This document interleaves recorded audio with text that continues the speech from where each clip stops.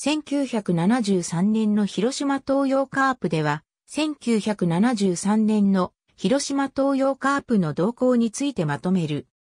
この年の広島東洋カープは、別途薫が1年だけ監督を務めたシーズンである。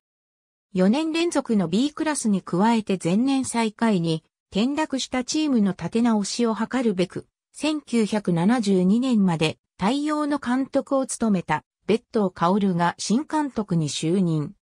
この年からユニフォームはブルーオーバースタイルとなり、また従来のベルト式をベルトレスに紺一式だったラインに赤を追加し、帽子のマークも広島の H からカープの C に変更するなどイメージチェンジが図られた。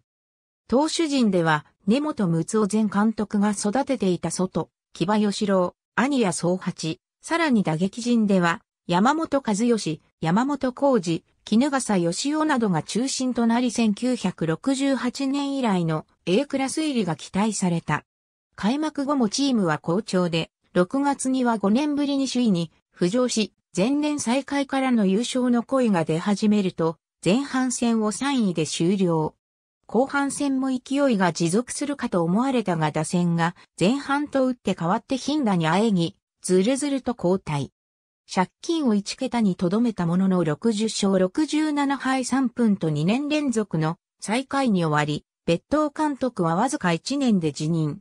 後任には、チーム敗抜きの森永克也打撃コーチが昇格した。ありがとうございます。